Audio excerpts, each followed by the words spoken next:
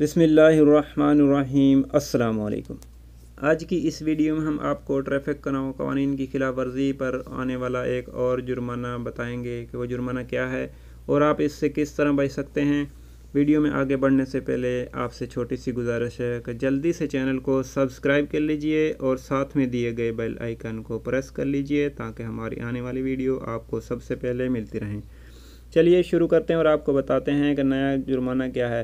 نیا جی جرمانہ یہ ہے کہ جب آپ کی اگر آپ نے گاڑی کی اپنی کی انشورنس نہیں کرائی تو آپ کو پہلے جرمانہ کس صورت میں آتا تھا کہ جب بھی کہیں تفتیش لگی ہوتی تھی، وہاں سے آپ گزرتے تھے تو جو جو چیزیں آپ کی کم ہوتی تھی، آپ کی تعمین نہیں ہے، رخصہ استمارہ نہیں ہے اور جو بھی چیز کم ہے تو ٹریفک پولیس والا آپ کو، مرور والا آپ کو روک کر جرمانے دیا کرتا تھا۔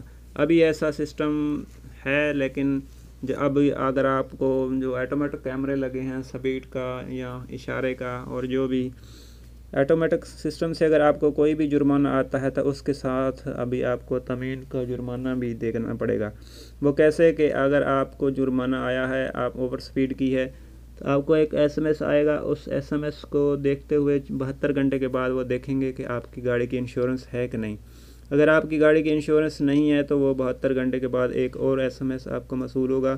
اس میں آپ کو جو تمین کا انشورنس کا جرمانہ ہے، سو ہے، ڈیڑھ سو ہے، جو بھی ہے، وہ آپ کو اس کا ایک علیحدہ سے ایس ایم ایس مصول ہو جائے گا جتنی دفعہ آپ خلاف ورزی کریں گے کسی بھی ٹریفک کی، تو آپ کو یہ جرمانہ مصول ہوتا رہے گا۔ تو اس سے بچنے کے لیے آپ نے اپنی گاڑی کی انشورنس کرا لینی ہے۔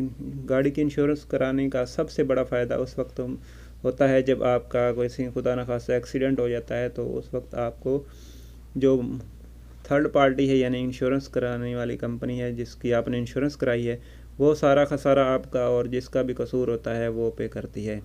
تو آپ نے اس میں زیادہ خرچہ نہیں آتا چھ سو، سات سو، آٹھ سو سے شروع ہو جاتی ہے تامین انشورنس آپ نے وہاں پر جا کر کروا لینی ہے۔ آپ کو بینک کا کارڈ چاہیے ہوگا کیونکہ ابھی پیمنٹ جو ہے وہ انشورنس کمپنیاں آپ کارڈ سے لیتی ہیں۔ آپ کا کارڈ نہیں ہے کسی دوست کا کارڈ آپ لے کے جا سکتے ہیں یا اس کو ساتھ لے کے جا سکتے ہیں اور وہاں پہ جا کر کر سکتے ہیں۔ اگر آپ کے نام گاڑی ہے تو پھر تو کوئی مشکل نہیں ہے، کوئی مسئلہ نہیں ہے۔ آپ کا بینک کا کارڈ بھی ہوگا اور آپ نے جس سے پیسے پہ بھیجتے ہیں پاکستان میں کسی بھی اپنی کنٹری کو، تو آپ نے وہ اس کو ساتھ لے جانا ہے اس میں اتنا بیلنس ہو کہ آپ اس کی پیمنٹ کر سکیں۔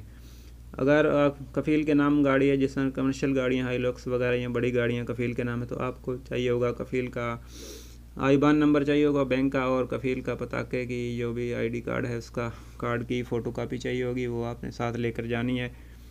اور اگر وہ پہلے تو وہ کرتے نہیں ہیں، کفیل بولتے ہیں، کفیل کو ساتھ لے کر آؤ۔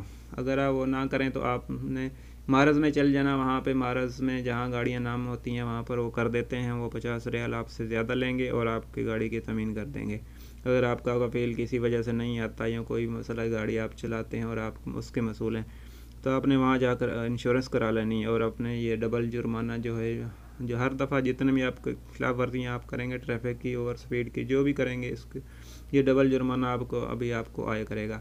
تو آپ نے اس سے بچنا ہے اور اتنا زیادہ خرچہ نہیں ہے، چھ سو، سات سو، آٹھ سو ہزار تک یہ تمین ہے۔ تھوڑی سستی کروا لیں آپ، تو آپ نے لازمی اپنی گاڑی کی کرا لینی ہے تاکہ کل کو حادثہ ہو جائے یا کوئی بھی مشکل ہو جائے۔ جرمانہ تو ایک دور کی بات ہے، کوئی حادثہ ہو جاتا ہے تو آپ اس سے بچ سکتے ہیں اور جو بھی حادثے میں جو نقصان ہوگا وہ انشورنس جس کمپنی کی آپ نے کروانی ہے وہ پے کرتی ہے۔ تو امید ہے دوستو یہ ویڈیو آپ کو پسند آئی ہوگی۔ دوستوں کے ساتھ ضرور شیئر کیجیے گا۔ تاکہ سب کو اس کے بارے میں معلومات حاصل ہو سکے اور اپنی گاڑی کی انشورنس کرا کر نیکسٹ آنے والے مشکلات سے بچ سکیں۔ نیکسٹ ویڈیو تو کے لیے اللہ حافظ۔ السلام علیکم۔